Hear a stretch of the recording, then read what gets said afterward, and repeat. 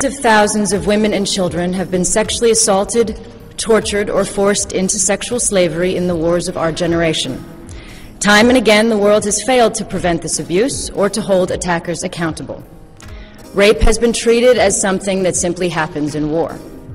Perpetrators have learned that they can get away with it, and victims have been denied justice. But wartime rape is not inevitable. This violence can be prevented, and it must be confronted.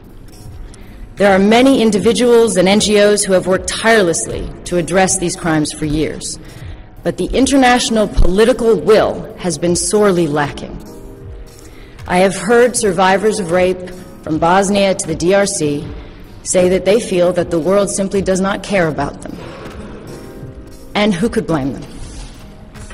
For too long, they have been the forgotten victims of war, responsible for none of the harm, but bearing the worst of the pain. But today, I believe their voices have been heard, and that we finally have some hope to offer them. I welcome the long overdue stand that the G8 has taken and this landmark declaration.